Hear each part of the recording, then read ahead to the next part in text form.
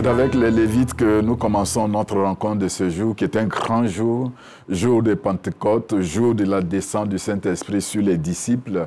Et nous sommes heureux de partager ce moment avec vous pour que vous soyez édifiés. Je suis très heureux d'être à ce rendez-vous avec la révérende pasteur Béatrice Becquet, qui est la deuxième responsable de l'évangélisation classique de l'Église méthodiste unie Côte d'Ivoire.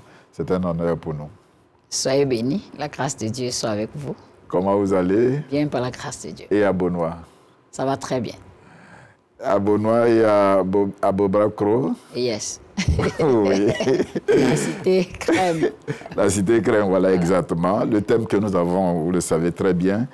Il vous baptisera du Saint-Esprit et du feu autour du test euh, de Matthieu chapitre 3, versets 11 à 12. C'est vrai que nous avons trois tests, mais nous allons nous appuyer sur le test de Matthieu chapitre 3, versets 11 à 12.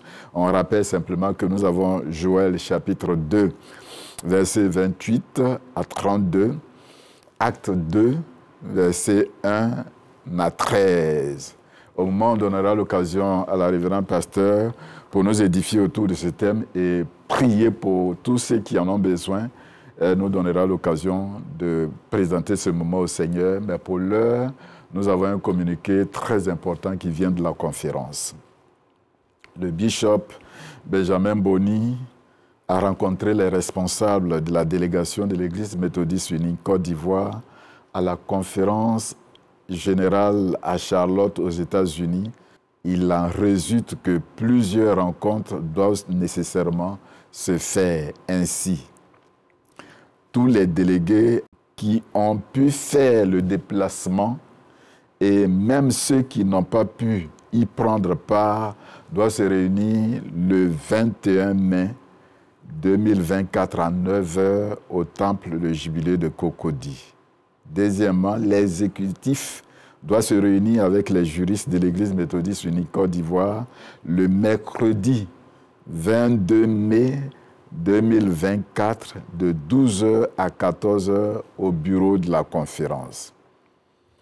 Les surintendants se réuniront le jeudi 23 mai 2024 à 14h au temple le jubilé de Cocody. Les responsables laïcs des structures et les présidents des laïcs des districts de la conférence se réuniront le jeudi 23 mai 2024 à 16h au temple le jubilé de Cocody. Et enfin, il y aura une conférence extraordinaire le mercredi 5 juin 2024 à 8h30 au temple le jubilé de Cocody. Merci de prendre toutes les dispositions utiles pour être présent à ces différentes rencontres. Pour la conférence de l'Église, le chargé des relations extérieures, très révérend Michel Lobo. Nous le disions tantôt qu'aujourd'hui c'est un grand jour, un grand jour euh, autour duquel nous allons réfléchir sur le thème Il vous baptisera du Saint-Esprit et de feu. Nous allons donner l'occasion à la révérende de présenter ce moment et certainement lire le texte de Matthieu chapitre 3, versets 11 à 12 et nous donner d'être édifiés. Nous prions le Seigneur. Notre Dieu et notre Père, nous bénissons ton nom, nous élevons ta grandeur. Ce jour est un jour merveilleux. Il t'a plu dans ta miséricorde de nous compter parmi les vivants. Et nous savons que sans toi, nous ne pouvons rien faire. C'est pourquoi, avant de démarrer cette émission, nous voulons te soumettre ce studio et tout ce qui va y passer. Seigneur, tu as les mots justes, les paroles justes. C'est pourquoi nous prions que ton esprit descende au milieu de nous, nous donne la parole qu'il faut, parce que quelque part, quelqu'un en a besoin.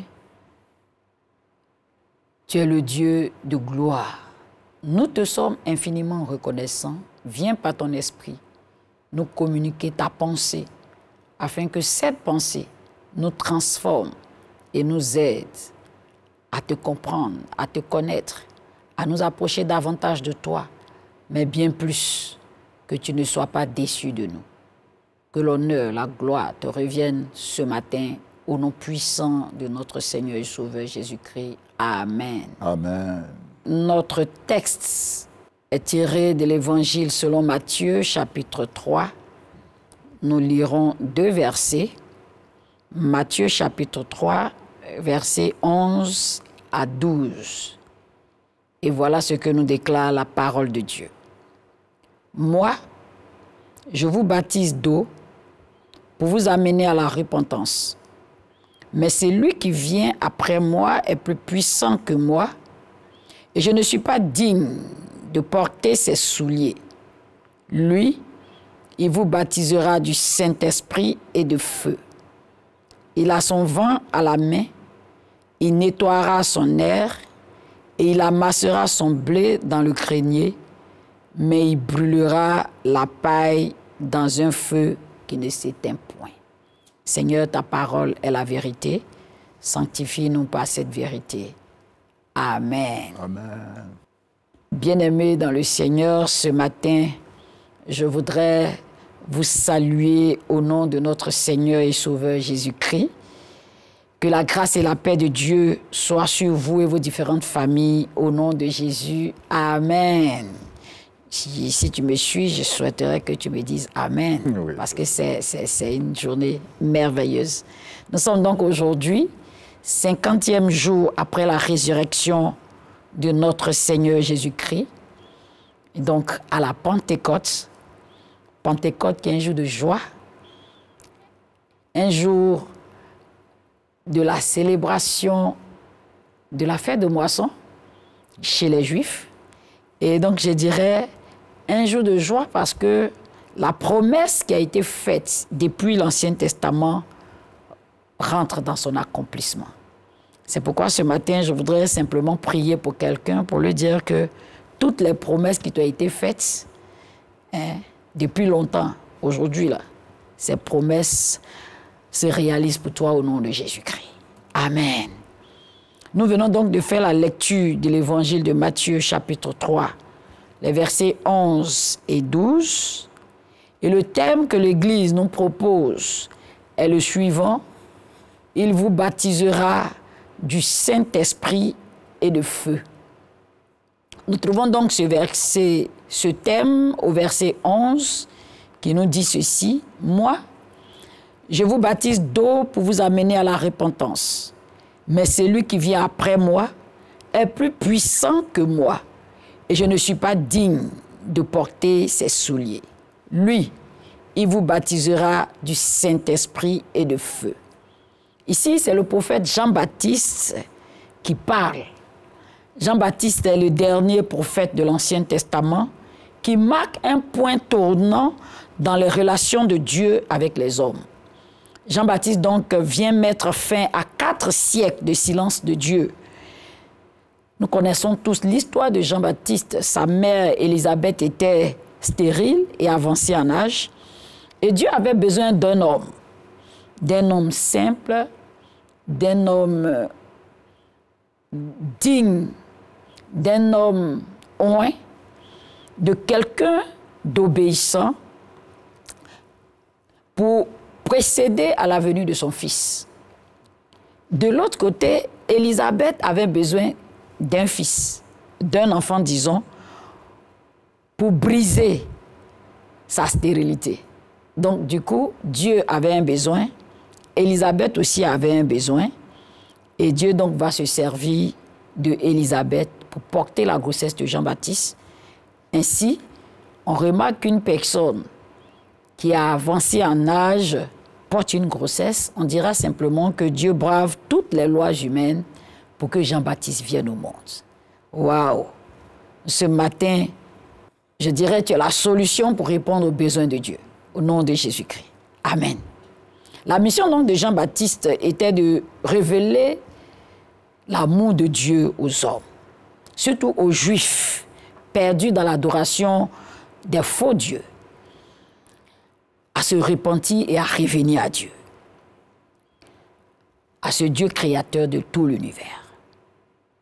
La prédication donc de Jean-Baptiste portait essentiellement sur le changement de vie, abandonner la vie d'idolâtrie pour se tourner vers le Dieu véritable.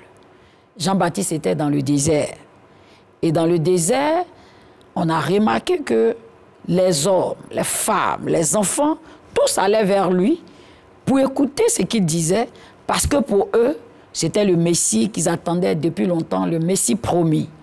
Mais ici, Jean-Baptiste ne va pas s'approprier cette gloire. Il ne va pas se faire passer pour le Messie. Mais il révèle son identité en tant que Jean-Baptiste en ces termes. Moi, je vous baptise d'eau pour vous amener à la repentance. Mais celui qui vient après moi est plus puissant que moi. Et je ne suis pas digne de porter ses souliers. Lui, il vous baptisera du Saint-Esprit et de feu. Ici donc, Jean-Baptiste se présente comme le précurseur du Messie. Celui qui est plus petit, mais parce que le grand viendra. Et il présente la toute-puissance du Messie à travers cette phrase qu'il a déclarée. La personnalité du Messie et surtout l'autorité du Messie. Notre thème, je vous le rappelle, est le suivant. Il vous baptisera du Saint-Esprit et de feu. Bien-aimés dans le Seigneur, qu'est-ce que c'est que le baptême?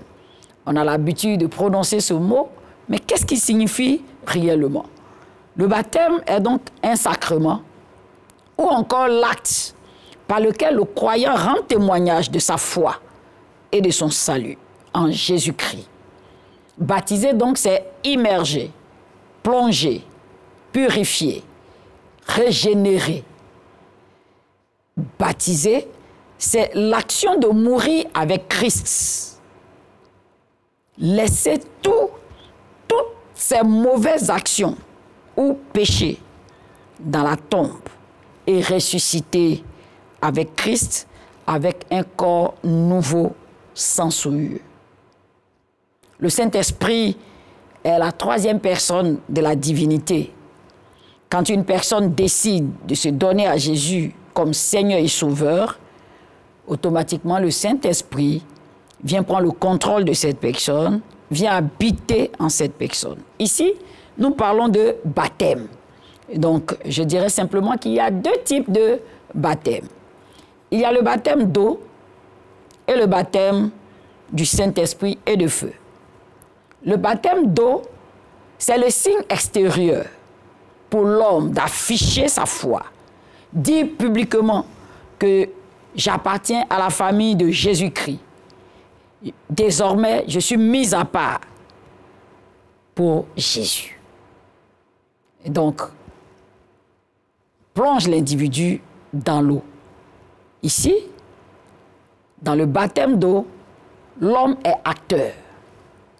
Quant au baptême du Saint-Esprit et de feu, c'est l'expérience surnaturelle à travers laquelle la vie intérieure de l'homme est transformée. Le feu fait allusion ici à l'action de purification, à l'action de jugement et surtout qui consume toute impureté. Dans cette expérience, donc, l'homme est passif et attend la venue de l'Esprit de Dieu sur lui afin que la puissance de Dieu se manifeste par lui. Le Seigneur Jésus avait fait cette promesse à ses disciples en Acte chapitre 1, le verset 8a, qui dit ceci, Mais vous recevrez une puissance, le Saint-Esprit survenant sur vous. Et voilà qu'en ce jour de Pentecôte, cette promesse du Seigneur rentre dans sa phase d'accomplissement. Alléluia. En Acte chapitre 2, les versets 1 à 4, il est dit ceci, le jour de la Pentecôte, ils étaient tous ensemble dans le même lieu. Tout à coup, il vint du ciel un bruit comme celui d'un vent impétueux et il remplit toute la maison. Ils étaient où ils étaient assis. Des langues semblables à des langues de feu leur apparurent, séparées les unes des autres, et se posèrent sur chacun d'eux. Et ils furent tous remplis du Saint-Esprit et se mirent à parler en d'autres langues, selon que l'Esprit leur donnait de s'exprimer.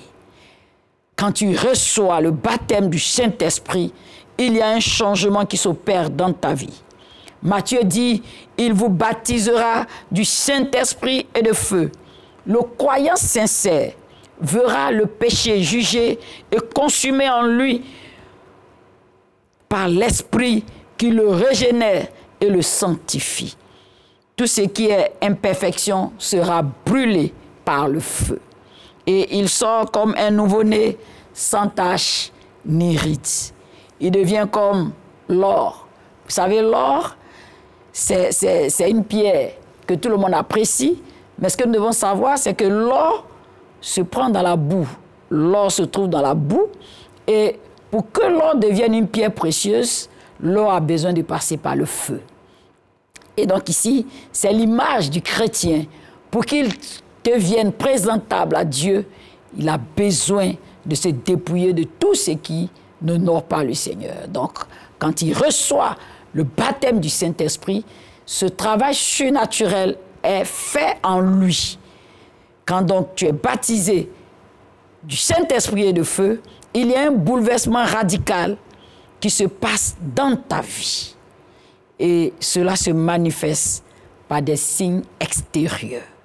C'est pourquoi dans l'Ancien Testament, Joël le rapporte selon qu'il a reçu de la part du Seigneur en ces en Joël chapitre 2, le verset 28 et 29. Après cela, je répandrai de mon esprit sur toute chair. Vos fils et vos filles prophétiseront.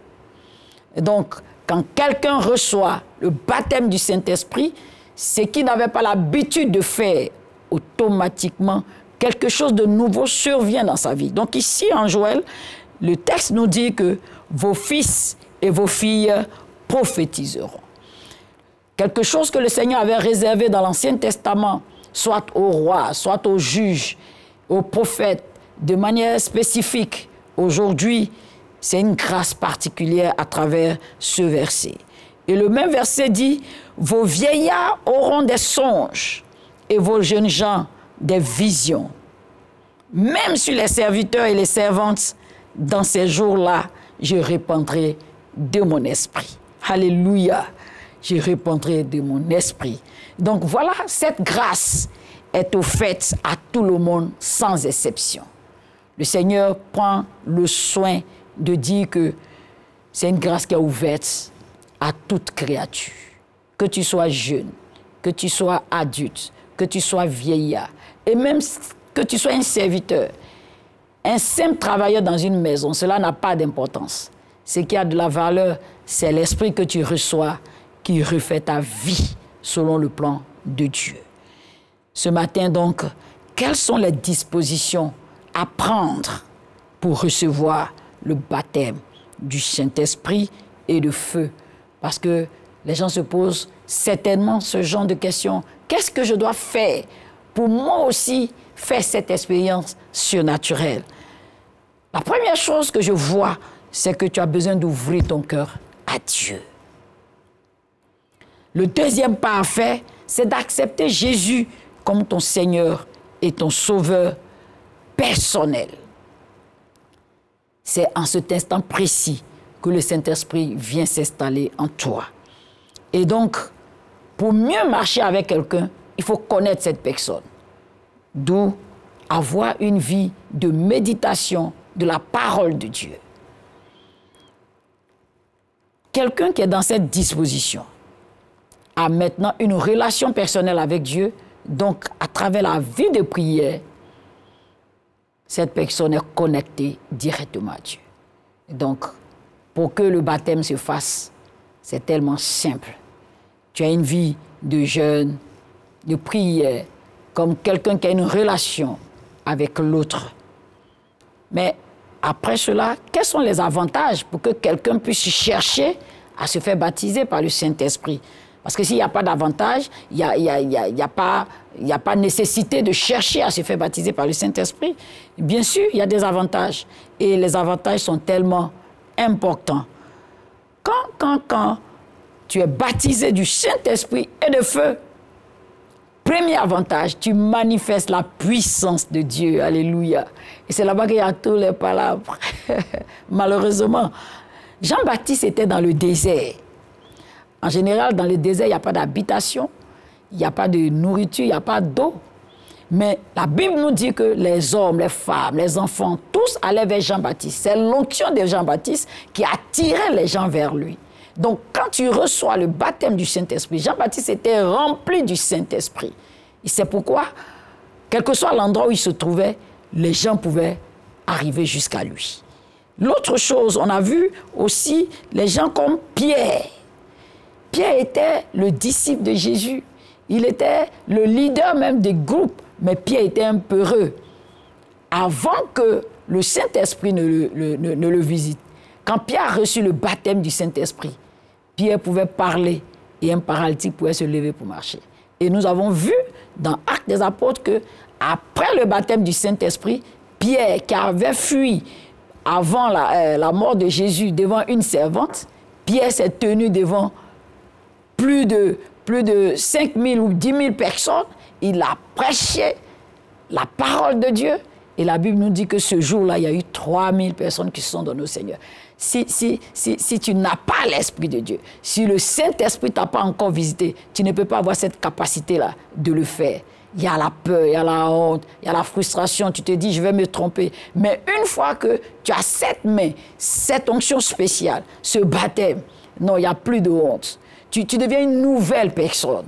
Et tu as cette possibilité-là de montrer que il n'y a qu'un seul chemin, Jésus-Christ.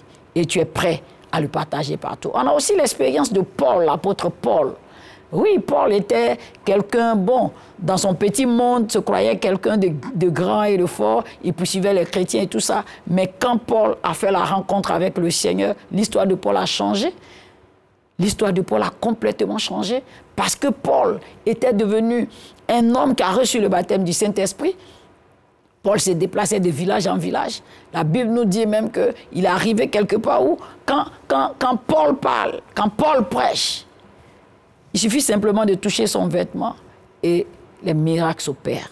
Donc, celui qui reçoit le baptême du Saint-Esprit, la première chose, le premier avantage, c'est la manifestation de la puissance de Dieu à travers cette personne. Nous ne sommes que des humains, c'est Dieu qui nous donne cette capacité. Donc, pour recevoir de Dieu une capacité particulière, pour qu'on dise de toi serviteur ou servante de Dieu, c'est que tu as reçu le baptême du Saint-Esprit. Deuxième avantage qu'on a quand on reçoit le baptême du Saint-Esprit et de feu, c'est qu'on est différent des autres.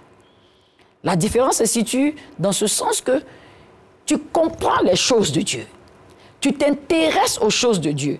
Tu te bats pour les choses de Dieu.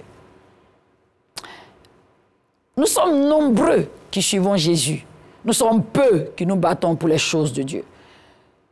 Celui qui reçoit le baptême du Saint-Esprit, il veut que l'œuvre de Dieu avance. Il veut que ses frères et ses sœurs qui n'ont jamais entendu parler de l'amour de Dieu puissent recevoir l'amour de Dieu. Tu es différent. Quand il s'agit des choses qui concernent Dieu, tu es prêt à te lancer, même dans le vide. Tu te dis qu'il y a quelqu'un qui est là, qui s'appelle Jésus-Christ de Nazareth, qui a payé le prix, et quel que soit le vide que mes yeux physiques voient, il est toujours prêt pour me secourir et pour m'aider à avancer. Troisième chose que, qui, est, comme un avantage quand tu reçois le baptême du Saint-Esprit, c'est que tu manifestes les dons spirituels. Waouh, tu manifestes les dons spirituels. C'est pas de la magie. Je, je- je le précise ce matin parce que certains ont tendance à dire Oh, lui là, peut-être il y a de la magie. Il y a toujours des photocopies, il y a toujours du faux, mais le vrai vient de Dieu. Quand tu reçois le baptême du Saint-Esprit, Dieu te fait cette grâce particulière de bénéficier de tous les dons. Quand vous lisez les Écritures, on nous parle de neuf dons, mais il y en a plus. Les dons spirituels sont à la portée des enfants de Dieu. Dieu dit c'est pour l'utilité commune. Le don des guérisons, le don des miracles, le don de parler en langue, le don, le, le don de discernement. Voici des dons qui sont à la portée du croyant pour que l'œuvre de Dieu avance. Et quand tu reçois le baptême du Saint-Esprit et de feu, automatiquement, ces éléments-là se manifestent à travers toi pour que tu puisses aider les autres à entrer dans le royaume du Seigneur. Cinquième chose, quand tu reçois le baptême du Saint-Esprit et de feu, tu travailles pour la gloire de Dieu et surtout dans son Église. Oui, quelqu'un dira, oh, les serviteurs de Dieu, là, ils travaillent pour leur ventre. C'est pas vrai. Quand tu reçois le baptême du Saint-Esprit, tu, tu, as le fardeau que le travail de Dieu se fasse et se fasse bien, selon que Dieu le veuille. Et aujourd'hui, la chose qui touche le cœur de Dieu, c'est l'évangélisation. Tu ne peux pas être baptisé du Saint-Esprit et de feu et vouloir rester dans ton, dans, dans, dans, dans ta maison ou bien dans ton église seulement, en train de prier, jeûner pour toi-même, et chaque jour, tu jeûnes, tu pries. Bon, toi, tu es déjà sauvé, tu veux quoi? Les autres n'ont pas encore entendu parler de Jésus. Les autres n'ont pas encore entendu parler de l'amour de Dieu. Et quand tu reçois le baptême du Saint-Esprit, il y a ce feu-là qui est en toi, qui bout en toi, qui te dit, fais tout. Ne regarde pas ton âge, ne regarde pas à, ta limitation, ne regarde pas à, à- ce que tu n'as pas de moyens, mais cherche à ce que ton frère, ta soeur, qui est de l'autre côté, vienne dans la maison, vienne à la bergerie. Et celui qui est baptisé du Saint-Esprit de feu, son cœur bat pour le Seigneur. Le travail du Seigneur est sa priorité. Il met Dieu en priorité. Oui, il met Dieu en priorité. Comment aller dans les hameaux, dans les campements, pour partager cet amour de Dieu? Parce que quelque part là-bas, le diable est maître. Le diable a pris le contrôle de la terre. Tu peux pas être baptisé du Saint-Esprit de feu et puis regarder les villages qui ne connaissent pas encore le Seigneur. Ça, je ne suis pas sûr que ce soit le même esprit que les disciples ont reçu le jour de la Pentecôte. Nous sommes en train de parler de Pentecôte. Le jour de la Pentecôte, c'était une fête. Les gens étaient venus pour se réjouir. Certains étaient venus présenter le fruit de leur, de leur plantation. Mais les disciples, eux, ont, ont reçu autre chose. Et ce qui était formidable, la Bible dit qu'ils arrivaient à parler les langues de ceux qui étaient là. J'imagine comment c'était. Hein? S'il y avait un ébrié qui était là, quelqu'un lui parlait en ébrié. S'il y avait un atier qui était là, quelqu'un lui parlait en atier. Pour dire que Dieu aime tout le monde. Dieu ne fait exception de personne. Dieu a offert sa vie à travers son Fils Jésus-Christ pour que quiconque met sa confiance en Jésus ait la vie éternelle. Et voilà cette bonne nouvelle. Jésus a payé le prix pour les êtres humains. Celui qui est baptisé du Saint-Esprit de feu, il est toujours en train de vouloir que l'autre apprenne cette bonne nouvelle. Une bonne nouvelle ne se cache jamais. La bonne nouvelle se partage, se propage. Et cette personne veut que tout le monde sache que Jésus est le véritable Dieu, que c'est Jésus seul qui peut sauver l'homme, c'est Jésus seul qui peut amener l'homme à Dieu, c'est Jésus seul qui est le chemin que Dieu a tracé pour que quiconque passe par là atteigne Dieu. Et que, quel que soit le temps que nous avons fait sur la terre, nous allons mourir. Et quand tu meurs, est-ce que tu as une fois passé à ton éternité? Quand tu es baptisé du Saint-Esprit, l'éternité des autres t'intéresse. Oui, l'éternité des autres t'intéresse. Pas l'argent des autres, mais l'éternité des autres t'intéresse. Et la dernière chose que je voudrais dire, qui est, aussi un avantage, c'est que l'abondance de Dieu s'attache à ta vie. Oui, le plus souvent, c'est ce qui attire les jalousies et autres. Mais non, tu n'as pas besoin d'être jaloux de ton frère ou bien de ta soeur. Concentre-toi, attache-toi à Dieu, cherche Dieu. Il est là pour tout le monde. Il a dit, dans les derniers temps, je répandrai de mon esprit sur toute chair. Vos fils et vos filles prophétiseront. Tu as besoin de prophétiser, allez, mais dispose-toi. Il dit, vos vieillards auront- des songes. C'est des songes qui parlent, qui donnent des révélations. Tu as besoin de ça, mais accroche-toi au Seigneur. Mais dans toutes ces choses, la Bible est claire aussi. Celui qui entend cette parole de repentance et qui refuse de changer de vie, aussi sera baptisé. Mais cette baptisée, baptisé du feu du jugement. Mais c'est ça. Parce qu'il faut le savoir. Il ne faut pas penser que c'est trop facile. hein. Si tu refuses, il y a aussi un baptême, mais le baptême du feu du jugement. Et comme Dieu nous aime, il ne veut pas que quelqu'un passe par ce feu-là. Il nous présente ce qui est bon. C'est pourquoi ce matin, toi qui m'écoutes et toi qui viens de m'entendre, est-ce que tu veux être baptisé du Saint-Esprit? Est-ce que tu as déjà fait cette expérience personnelle? C'est une expérience tellement intéressante, tellement merveilleuse. Quand tu ne l'as pas encore fait, tu ne comprends pas ce qui se passe. Tu, tu, tu, tu, tu, tu, incrimines les autres, tu les critiques. Mais une fois que tu passes par cette expérience, tu vois les merveilles de Dieu. Tout ce que tu vois est bon et beau pour le Seigneur. Ce matin, est-ce que tu veux faire cette expérience? On a vu Pierre qui n'était rien, mais quand il a reçu le baptême du Saint-Esprit, Pierre pouvait prier pour le paralytique qui était à la porte pendant combien d'années? Quand Pierre arrivait à côté de lui, il a dit, je n'ai ni or ni argent, mais ce que j'ai, au nom de Jésus, lève-toi et marche. Et la Bible nous dit qu'automatiquement, ce paralytique s'est levé, il a marché. Ce matin, est-ce que tu veux vivre cette expérience? Et donc, reçois. C'est simplement ça. Reçois ce baptême ce matin. Je ne sais pas dans quelle position tu te trouves. Si tu te trouves sur un lit de malade, ce matin, l'Esprit de Dieu descend sur toi. Et quand cet Esprit vient, il vient pour apporter un bouleversement. Il vient pour apporter un changement. Tu reçois cet Esprit ce matin. La maladie, quel que soit l'endroit où elle est placée, ce matin, la puissance de Dieu descend dans ton corps descend dans ta chair, dans tes nerfs, dans tes os, maladie. Tu plies tes bagages, t'es hors. Parce que l'Esprit de Dieu doit prendre le contrôle. Je ne sais pas ce qui est bloqué dans ta vie. Le Saint-Esprit descend sur toi ce matin. Ta situation de blocage change. Parce que c'est un esprit de feu. Le feu ne peut pas descendre quelque part sans embraser ce qui se trouve sur ton chemin. Ce qui n'est pas de Dieu est dégagé et ce qui est de Dieu reste. Ce grand jour s'est levé ce matin pour toi. Reçois ta part, reçois ta délivrance, reçois cette expérience et je prie pour toi. Toute cette journée, tu verras la visitation du Seigneur à travers son esprit et ton histoire prendra un nouveau départ. Le Dieu Tout-Puissant, qui a fait cette promesse depuis l'Ancien Testament, et qui réalise cette promesse en ce jour devienne ton partenaire, ton collaborateur, et que toi aussi, ton nom soit inscrit dans le livre des actes des apôtres. Si tu remarques bien, ce livre n'a pas de conclusion. C'est simplement parce qu'on attend que toi, tu viennes écrire ta page à travers ce baptême de feu, ce baptême de l'Esprit.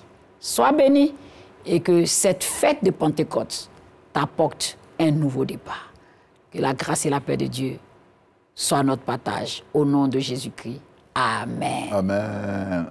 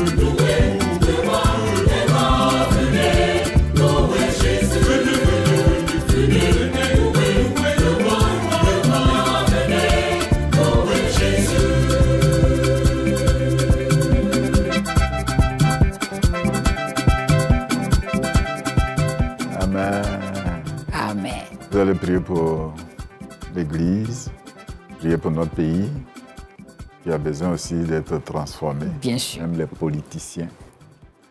On va prier pour elle. Et donc, nous prions le Seigneur pour l'Église, notre Dieu et notre Père, en ce jour mis à part, où ton esprit descend. Père Tout-Puissant, nous avons besoin de cette transformation radicale au sein de ton Église. Oh Dieu, agis à travers ton esprit pour que l'Église aille de l'avant. Que tout ce qui est entré dans l'Église et qui n'est pas de toi, en ce jour de Pentecôte, sorte de l'Église et que l'Église prenne le pas que tu lui as présenté. Oh Dieu, nous te recommandons les premiers responsables de chaque communauté dans cette nation.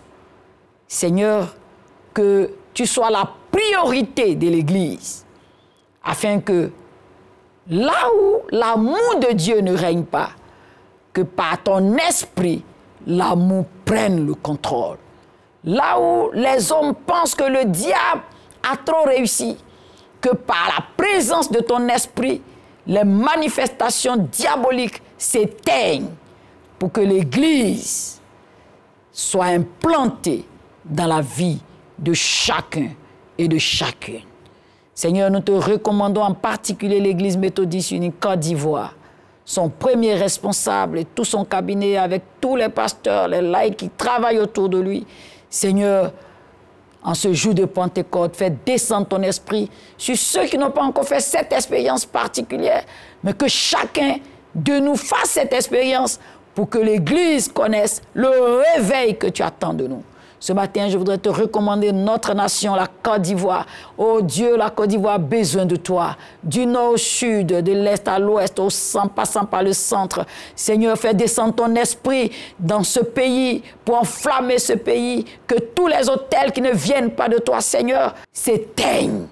Et que seul ton drapeau soit planté dans notre nation.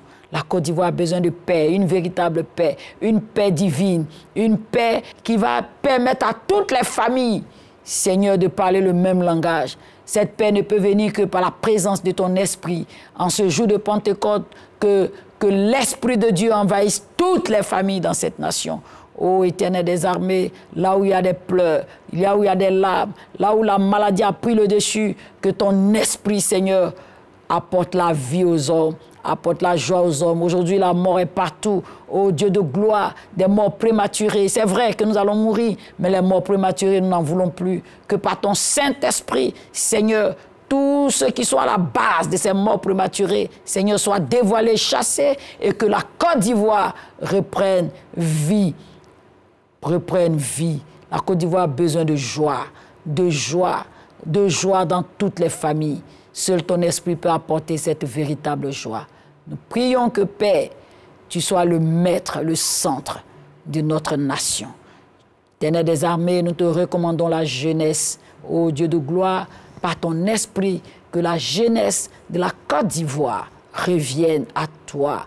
Ô éternel des armées, que les jeunes qui sont encore dans les rues, les parents ne peuvent plus rien faire pour eux. Ton esprit peut les recadrer. Que cet esprit-là les ramène à toi. Honneur, gloire, magnificence te reviennent au nom puissant de Jésus-Christ. Amen. Amen. Il y a un dernier sujet pour lequel euh, vous allez intercéder. Euh, on peut le dire que Dieu a fait sa volonté en rappelant simplement son serviteur, euh, révérend pasteur Isaac Brown. On va certainement recommander sa famille au Seigneur et particulièrement son épouse et son enfant. Ensuite, euh, nous avons cette nouvelle de notre frère, maître de cœur, euh, Saint Basile, que le Seigneur vient de rappeler. Pour ces deux cas, je vais demander que vous puissiez les recommander au Seigneur. Oh notre Dieu, notre Père, nos jours t'appartiennent. En nous emmenant sur la terre, tu as donné à chacun des jours. Et personne ne connaît en réalité le contenu de sa vie. Toi seul le sais. Nous avons partagé des bons moments avec nos frères, le révérend Brown et le maître de cœur Basile. Et c'est toi qui connais leur vie. Il t'a plu de les rappeler à toi.